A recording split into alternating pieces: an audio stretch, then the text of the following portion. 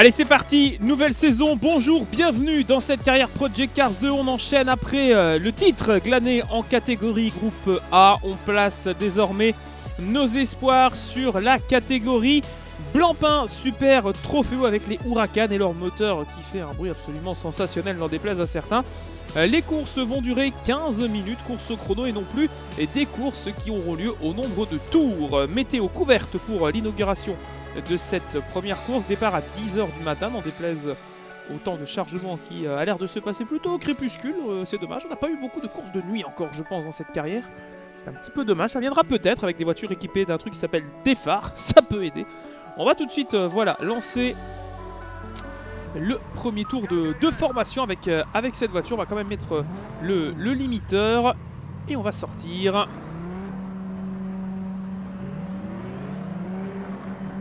De cette pit lane pour euh, faire un tour. Alors vous connaissez évidemment bien, sûr le circuit hein, d'Algarve, on a déjà, euh, enfin de Portimao en Algarve bien sûr, on a déjà tourné euh, plusieurs fois dans la carrière sur ce, oh, oh, sur ce circuit.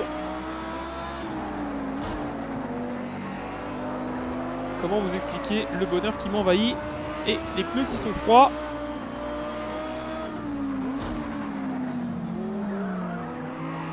Ce tour de formation, on va donc passer par la case mise en température avec donc euh, ce, circuit. Est-ce qu'il est dans la configuration habituelle? C'est ce que je vais vérifier avant de me lancer en qualification. Pour l'instant, on est sur la version longue, je pense. On va pas avoir droit à une, version euh, raccourcie. Ah, la mise en température va être un bonheur avant la qualif. Hop, bah voilà, il suffisait que je le dise. Pas tip top là, ce, ce tour de présentation jusque là, c'était assez compliqué. Et le passage dans la descente, oui, qui s'annonce euh, un peu technique. Ouais, tant que les pneus sont pas à température, on va se faire piéger, je pense, par le train av- avant de la voiture. Est-ce que ça passe déjà à fond? Non, il faut soulager pour le moment. Voiture qui manque aussi un peu d'appui hein, dans les secteurs euh, sinueux comme celui-ci.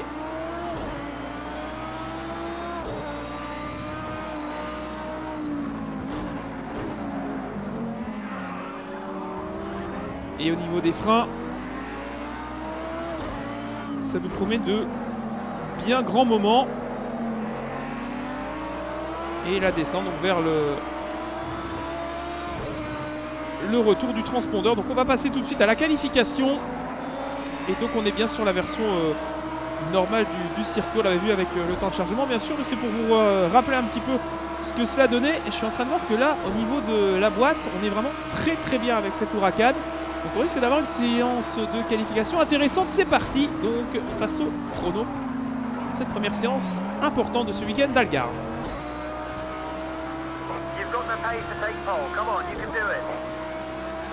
Allez, on a peut-être le rythme pour aller chercher la pole. J'y crois pas trop pour tout vous dire. Mais on va essayer. Et ça commence par euh, la première rentrée d'un chrono.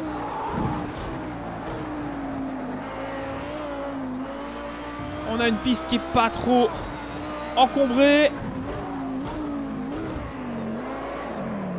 Allez, en première. Temps de réaccélérer au mieux. Hop, ça glisse.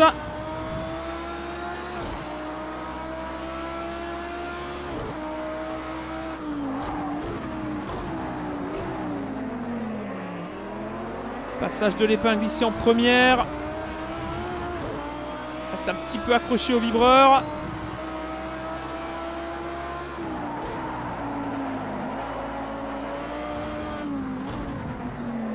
La balance n'est pas nickel. Un peu large. Pas de quoi crier au scandale malgré tout. La chicane avec le double dénivelé, la butte ici. Réaccélérer le plus tôt possible. La deuxième descente, troisième partiel maintenant.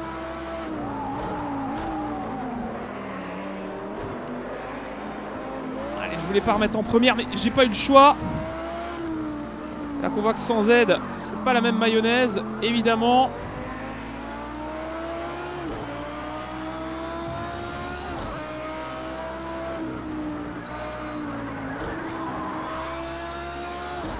Allez, on repasse en 3. Normalement, on peut passer en 4, mais on va voir le premier tour. Avec euh, un train euh, gauche euh, bien, bien dans la douleur.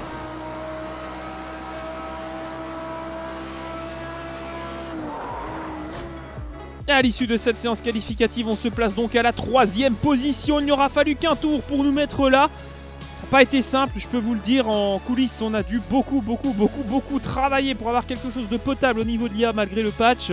On est donc troisième à 4 dixièmes donc de la voiture de Ben Anderton, le premier poleman de cette saison, devant donc Zampati, deuxième, le pilote argentin. Et nous sommes donc avec le Vasmac Racing, troisième, notre équipier. Notre équipier, oh là là, est bien loin, 17ème, alors qu'il n'y a pas eu de chrono pour ces deux pilotes. Place désormais à la première course de la saison. C'est parti, donc ici, en Algarve.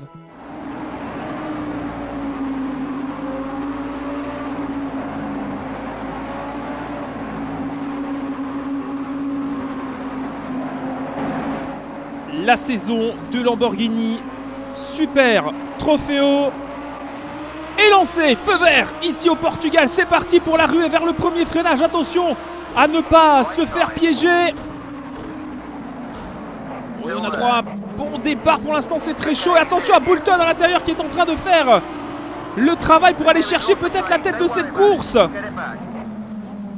Et nous aussi, on est à l'extérieur, là on est pas mal. On va peut-être pouvoir passer Anderton. On est bien devant le poleman qui s'est loupé.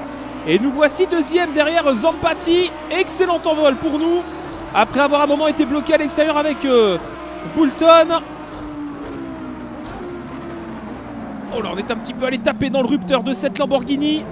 Et premier partiel pour l'instant, pas mal du tout avec euh, donc Zampati en tête. On est deuxième devant Anderton, Boulton qui suit. Et le top 5 est complété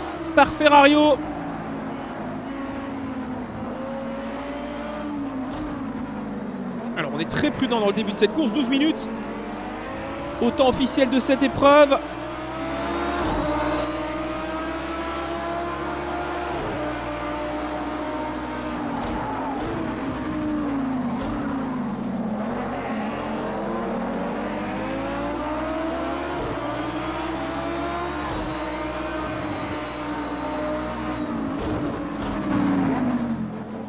Et pour l'instant, Zampati qui fait le travail. Hein. Dans le deuxième tour, il n'est pas possible d'aller le rattraper.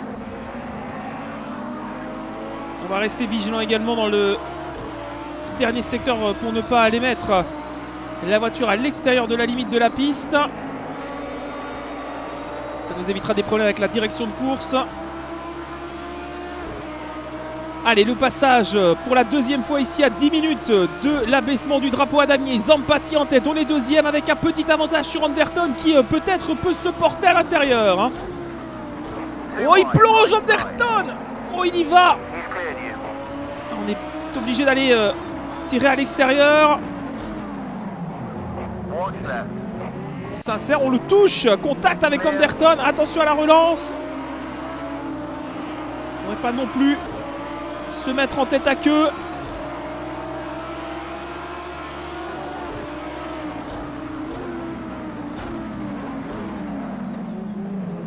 Allez, à l'épingle. Anderton deuxième maintenant. Après une attaque extrêmement incisive au bout de la ligne droite des.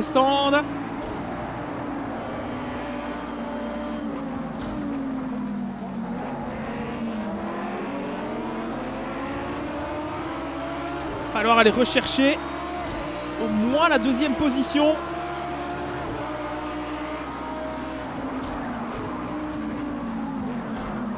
Hop, manquait de perdre la voiture là sur ce freinage là. Sauver in extremis.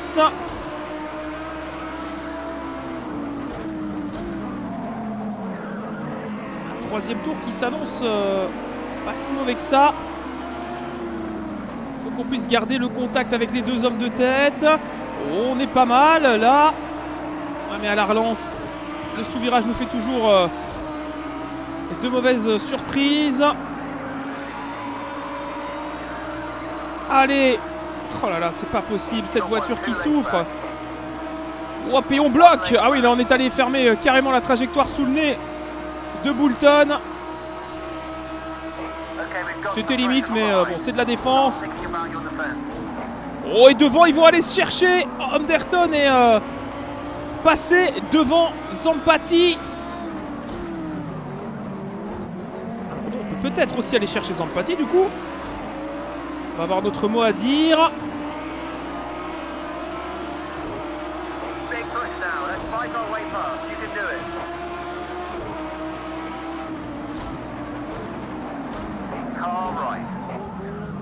Fait l'intérieur à Zampati à l'épingle. C'est passé. Attaque venue peut-être d'un peu loin, mais on a empêché le pilote argentin de fermer la porte. On est deuxième. Allez, ça se bagarre, ça fait euh, un peu plus euh, d'action à se mettre sous la dent et c'est euh, pas de refus. Allez, la remontée peut-être pour revenir, pourquoi pas attaquer désormais Anderton, le poleman blessé dans le premier virage avec un ou plusieurs contacts et ensuite il a pu remonter. Il a l'air plus à son affaire que, Zampati hein, qu'on a doublé. Oh, quoique. Coucou? Zampati qui se montre dans mes rétroviseurs. There. Et toujours là.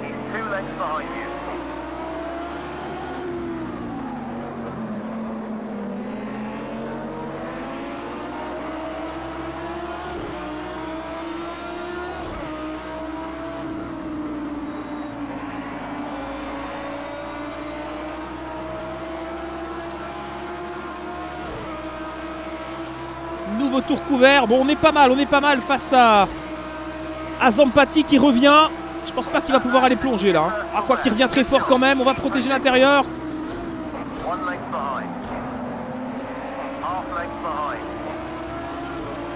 Il est passé Zampati.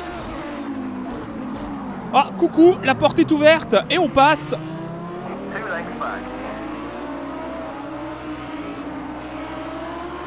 Bien voilà, porte ouverte de nouveau pour euh, la deuxième position. Ça se bagarre fort hein, pour euh, le top 4.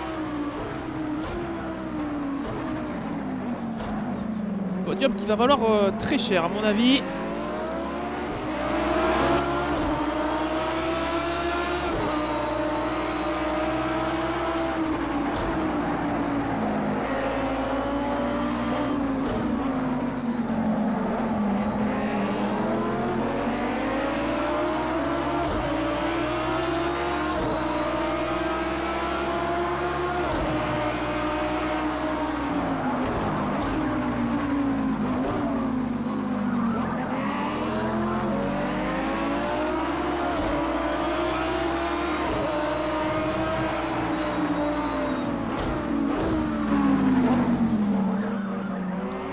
Allez, on va essayer de faire euh, tomber le mur Anderton. Qui euh, nous retient alors qu'il ne reste que 5 minutes dans cette épreuve.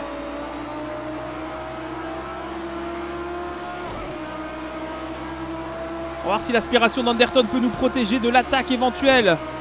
Oui, oui, oui, de Zampati qui ne gagne pas de, temps. Ça, c'est une bonne chose. Gros coup de talon à l'entame du premier droit.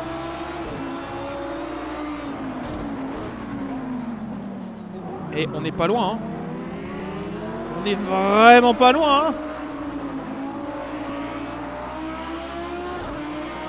On va pouvoir y aller L'attaque sur Anderton, le leader.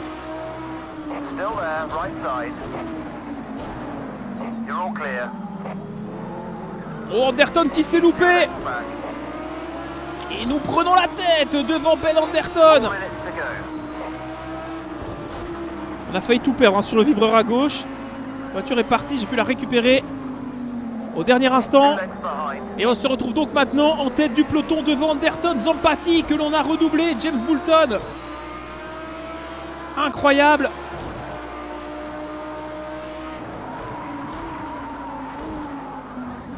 énormissime blocage de roue. On est porté vers l'extérieur. Est-ce qu'on peut garder la voiture devant? Oui.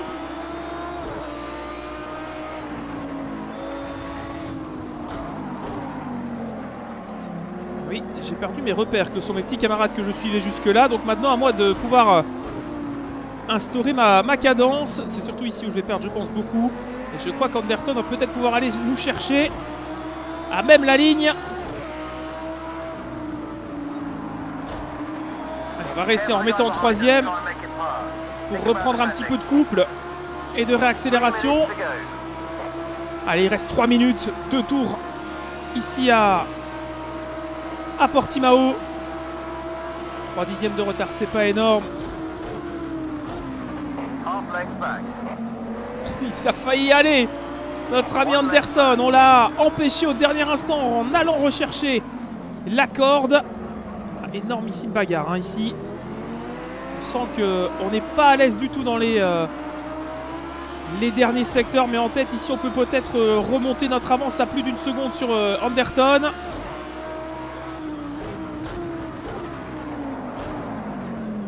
Blocage de roue.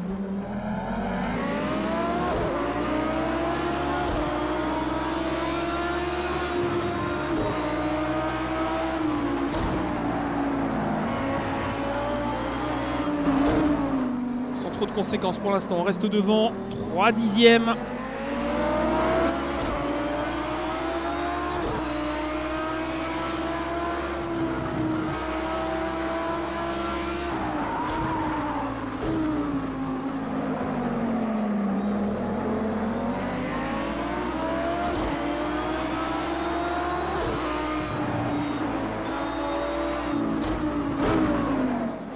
Je crois que Anderton et euh, Zampati sont tellement proches de moi qu'ils pourraient me coiffer au poteau sur la ligne.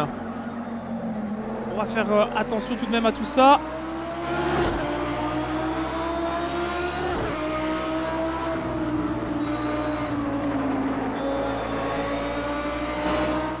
Allez, la relance.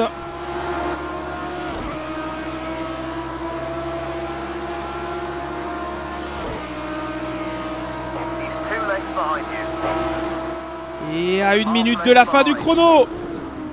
Oh, freinage, on se fait piéger. Hop, faut pas la perdre. Voilà, c'était le plus important, c'était de pas partir en tête à queue, même si on est euh, pour l'instant relégué au, au second rang derrière euh, Anderton qui est venu euh, nous chercher. Les pneus qui commencent à souffrir.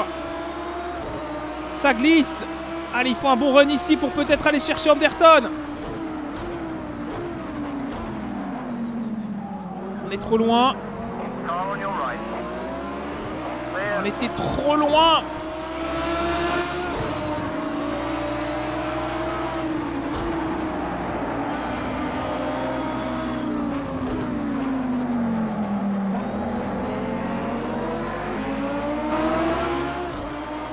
Oh là là.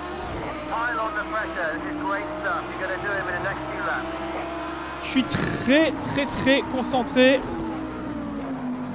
Que je veux vraiment pas qu'elle me file entre les doigts celle-là.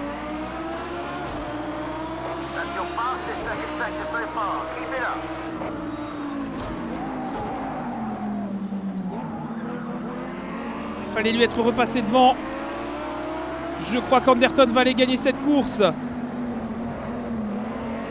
moins d'un miracle. Anderton qui va s'imposer au prix d'un superbe dépassement. C'était dans le dernier tour. Magnifique victoire d'Anderton qui sera donc le premier vainqueur de cette catégorie. Et on termine deuxième sur le podium de cette première course qui aura été très très disputée. Un vrai régal en tout cas. Cette course, euh, ouais mais on tournait euh, oui, 6 dixièmes moins vite. Comment voulez-vous qu'on y arrive avec euh, le meilleur tour de Ben Anderton qui euh, avait été sans, sans être gêné. Voici donc à quoi ressemble le classement à l'issue de cette première course de la saison. Il y en aura 4. Ben Anderton prend donc la tête avec 16 unités. Nous sommes deuxième à 12 points.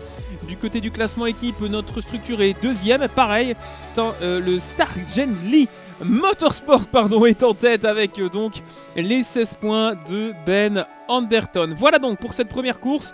On se donnera rendez-vous très vite pour la deuxième manche de cette saison qui, on l'espère, aura lieu dans de tout aussi bonnes conditions. Merci à toutes et à tous et rendez-vous donc au Nürburgring pour la prochaine course. Au revoir.